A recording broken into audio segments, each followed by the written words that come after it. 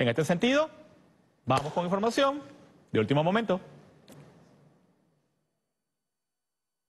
Presente en el Palacio de Miraflores, Caracas, el excelentísimo señor Kinan Saher Aldin, embajador extraordinario y plenipotenciario designado por la República Árabe Siria ante el gobierno de la República Bolivariana de Venezuela. Hola, sí, muchísimas gracias por este contacto que establecemos a esta hora desde el Palacio de Miraflores. En efecto, llega en breves minutos el embajador de la República Árabe de Siria, designado ante la República Bolivariana de Venezuela, Kinan Saher al-Din, quien en breves minutos entregará sus cartas credenciales formalmente ante el presidente de la República Bolivariana de Venezuela. Al excelentísimo señor Kinan Saher al-Din, embajador extraordinario y plenipotenciario designado por la República Árabe Siria ante el gobierno de la República Bolivariana de Venezuela. Con vista al excelentísimo señor embajador de la República Árabe Siria, designado ante el gobierno de la República Bolivariana de Venezuela. Atención, presenten.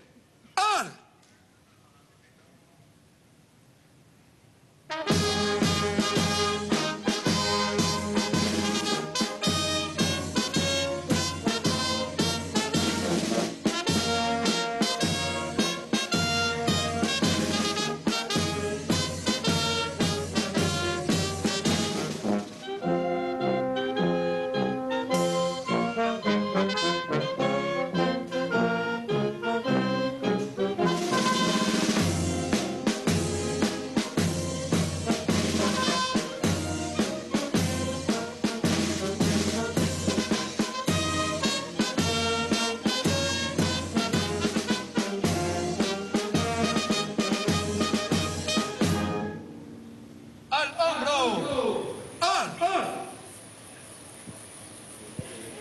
Recibe los honores correspondientes a su investidura como embajador designado ante la República Bolivariana de Venezuela en compañía del canciller de la República, Carlos Farías. Durante este encuentro, el presidente Nicolás Maduro Moros y el embajador repasarán la agenda de trabajo conjunta para ejecutar acciones concretas dirigidas a la dinamización de las relaciones económicas y comerciales entre dos naciones.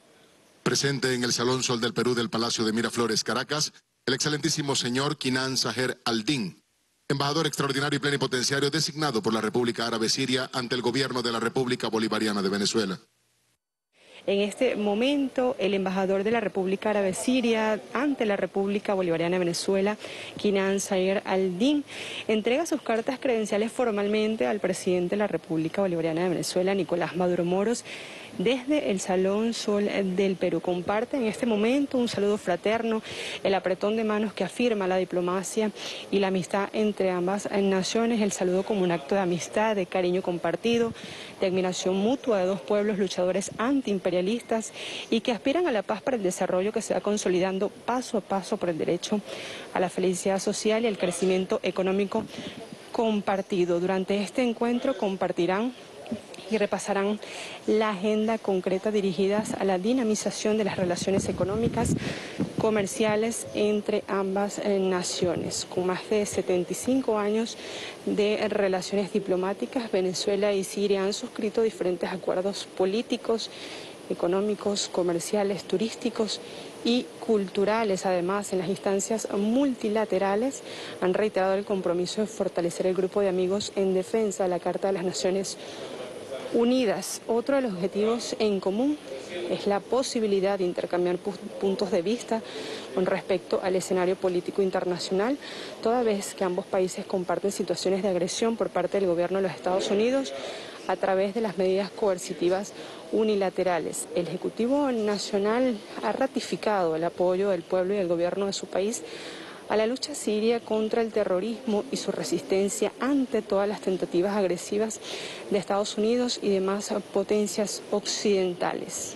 El embajador de la República Árabe de Siria es economista egresado de la Universidad de Damasco, ha desempeñado distintos cargos de representación diplomática en esta actividad liderada por el presidente de la República Bolivariana de Venezuela, participa la primera combatiente Cilia Flores, el canciller de la República Carlos Farías, entre otros integrantes del eh, gabinete ejecutivo. Recordemos que Venezuela y Siria han sido víctimas de múltiples ataques y la imposición ilegal de medidas coercitivas unilaterales propiciadas por el gobierno de Estados Unidos con el objetivo de derrocar a los presidentes legítimamente electos Bashar al-Assad y Nicolás Maduro. Comparte en este momento Recordemos que desde la llegada de la revolución bolivariana y el comandante Hugo Chávez, las relaciones entre Caracas y Damasco se consolidaron y la cooperación traspasó las barreras impuestas por las administraciones norteamericanas.